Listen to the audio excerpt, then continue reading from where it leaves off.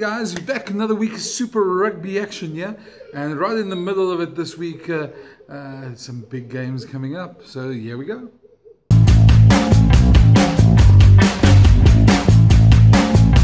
Let's look at last week. Uh, I got three wrong, five out of eight. Not too shabby, I believe. Uh, the first one was the Waratahs who beat the Reds. With a bit of the Reds, the, the refs help if you're a Reds fan, you'll believe that.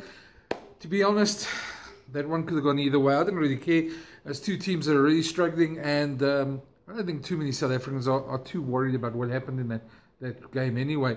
The other one I got wrong, big one for me, was the Stormers. I backed the Stormers. I really thought they could do it. And they came horribly apart, horribly apart. I know, I know. I give it, I give it up. I was wrong.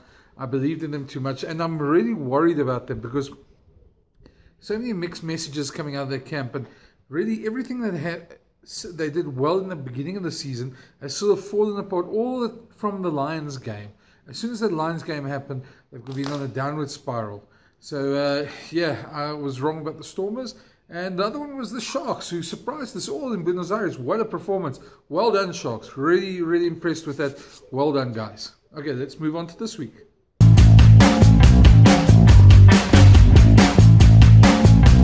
Let's look at the Stormers anyway. And, they're really not in a good space at the moment. Last week, a tough week against the Hurricanes. Hurricanes are up for this challenge.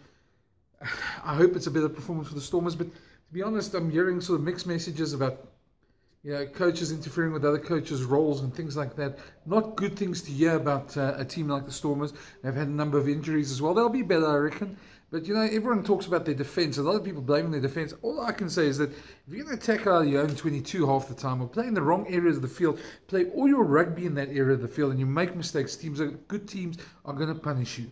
So if you you can blame all your defense all you want, but if you give the ball to an opposition in 22 from a turnover, more times than likely, if they're a good team, they're going to punish you. So I think the Stormers, the attack is just as much as the defense is the problem at the moment.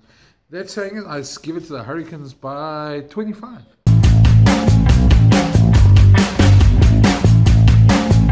Another team that's had a lot of problems on defense, the Cheetahs, really frustrating. Looked at them.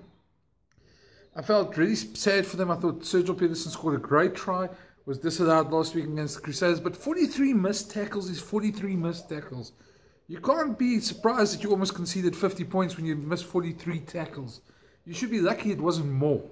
They play now the Highlanders, and the Highlanders, fresh with that 50 of the Stormers, are going to back themselves. They're going to try and run the Cheetahs ragged. So unless the Cheetahs find a defense, I'm sorry, that's not. Gonna, it's going to be a pretty similar result.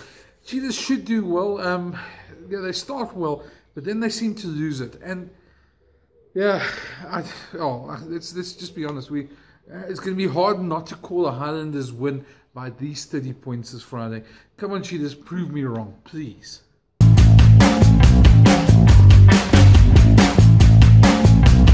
Lions, of course, carrying on in, now in Melbourne. Uh, you know, to play, play, the, play the Rebels. The Rebels have to come back for, all the way from PE, where the, the Kings uh, demolished them.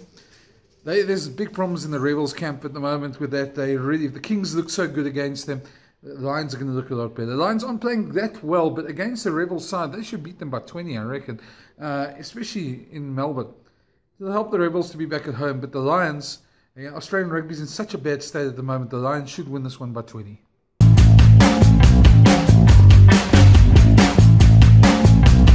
Okay, the other two South African games is we start off with the one in Kings Park.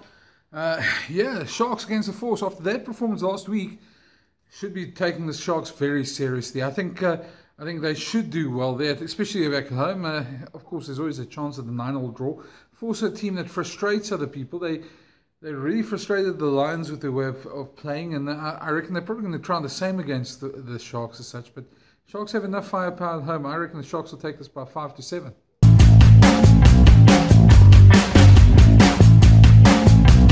And then the big one of the weekend, the big question: How do the Bulls stop the Crusaders? Well, no Sam Whitelock, no Kieran Read.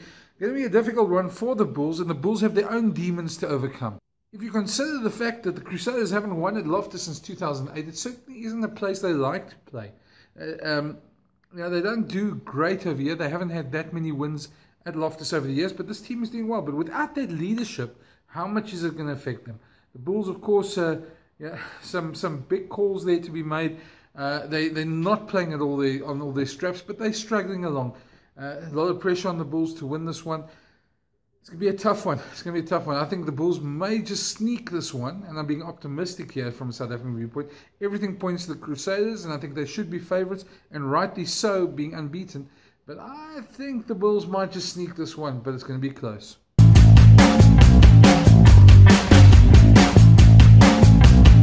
The other games that's left this weekend, the Chiefs facing the Reds. Reds will be a bit peeved they didn't win that game against the Waratahs last week. They're improving as such. But the Chiefs have also got some problems. They're, not, they're probably struggling. They're not getting the straps like the other New Zealand side. Still, I think they'll be good enough to beat the Reds.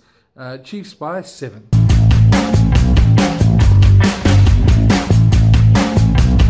Another cross Tasman clash to watch out for. Uh, the Waratahs against the Blues. Now, the Blues uh, worked their way around uh, uh the, uh, who they play? The Brumbies. the Blues played the Brumbies last week, worked their way around, got the victory there. Not a spectacular victory, but uh, Australian teams aren't doing well against New Zealand. Waratahs would have done better. They'll have a bit of relief from that win. I needed a bit of help to get there, but yeah, they got the win anyway. I still think that the Blues are probably a better side, uh, and the Blues will probably win this one, but only by five or six points. It won't be a great game to watch either.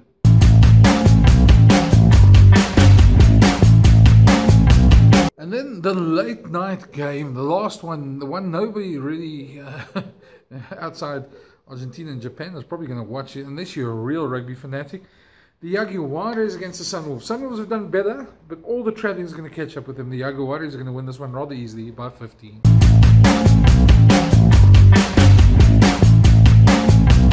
That's it for this week. Uh, thanks for watching, guys. Uh, great weekend coming up. A lot of big games. Uh, hoping the Bulls, the che Cheetahs, uh, Stormers, all those teams can do do something for us. The Sharks, I know, will probably do well, and Lions, I'm sure, are going to win anyway.